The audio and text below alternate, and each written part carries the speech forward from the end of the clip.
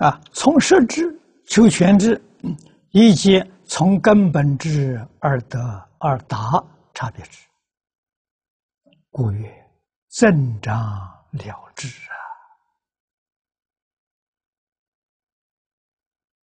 啊！啊，像密宗刚才讲用莲花做比喻，莲瓣之胜负，可欲增长。啊，在莲花这个这个这个表法里头，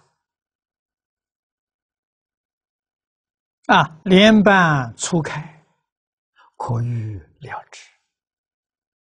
啊，莲花八瓣开复啊，正显增长了之之意。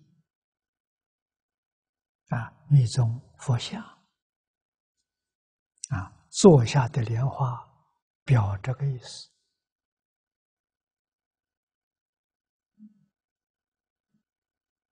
啊，他是不是真的坐在莲花上？不是啊！你要以为诸佛菩萨都是真正坐在莲花上，你就错了。不是真坐莲花了，他坐在什么？他坐在全十二智上，莲花是表全十二智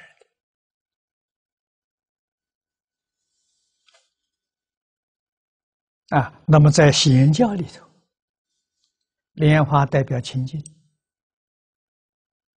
啊，表清净心，表放下。啊，你看莲花根生在泥土里头，池塘泥土里，那代表什么？代表六道。啊，它的茎在水当中。啊，池子里面的水代表四圣法界。声闻缘觉菩萨佛，代表这个啊，花呢？花开在水上面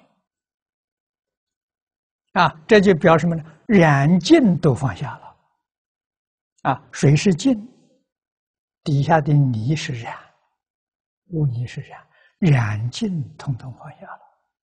染代表六道，净代表四圣法界啊，花开在上面。开在一真法界，不再是法界，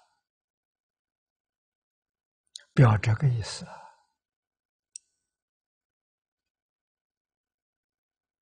啊！不是真的坐在莲花上啊！不要把搞呆了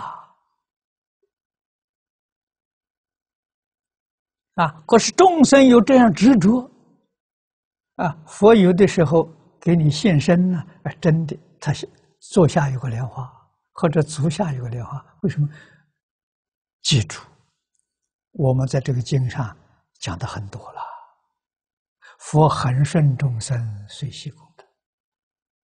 你喜欢莲花，脑子里的哎，佛一定在莲花上，佛现象一定有莲花。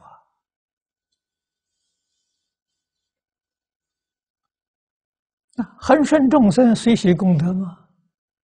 啊，佛有没有念头？没有，佛。我们众生有感，感有念头，他有应，应没有念头，啊，他确确实实不起心、不动念、不分别、不执着，啊，你怎么想，他自然怎么现。所以应的时候，完全是应你的心，不是他的。要是他的心，他的心什么相都没有。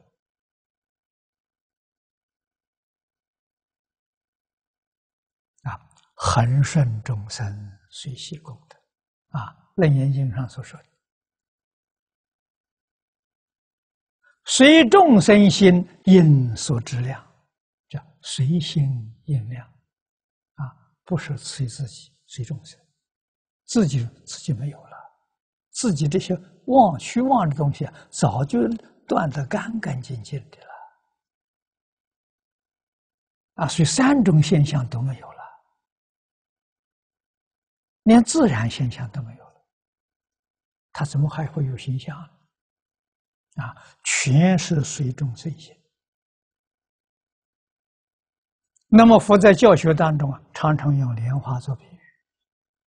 啊，不但这在密宗里头比全十二支，啊，在显教里头莲花代表清净不染，对于世出世间法，通通不染着。啊，六道是世间法，四圣是出世间法，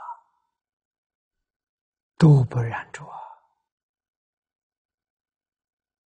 啊，四圣尤其代表更深一层代表，你看代表阿罗汉、辟支佛、菩萨、佛，连这些全都不染。啊，众生学学佛，还希望能成个阿罗汉，成个菩萨，成个佛。啊，真正修道人说，连这个痕迹都不露，他心多干净。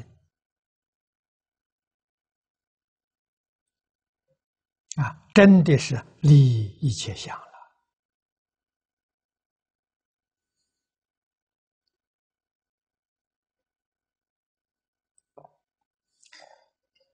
这下面的文，因连夜开复啊，而明显莲台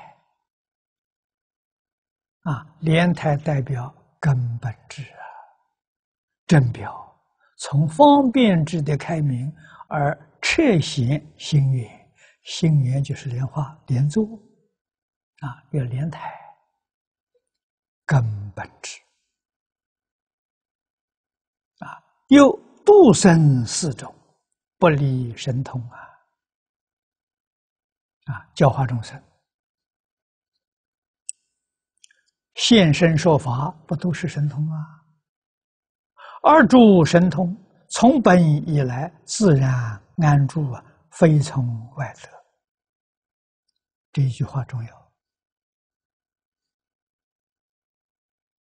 如《圆觉经》曰：“本来成佛。”华严经也有这个说法，故云从本以来安住神通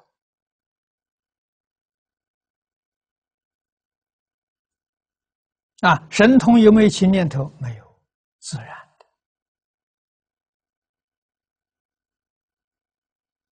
的啊。所以诸佛如来示现在十法界，示现在人间，是属于自然。啊，自然现象，啊，他没有人为，他没有通过思考，没有通过新意识，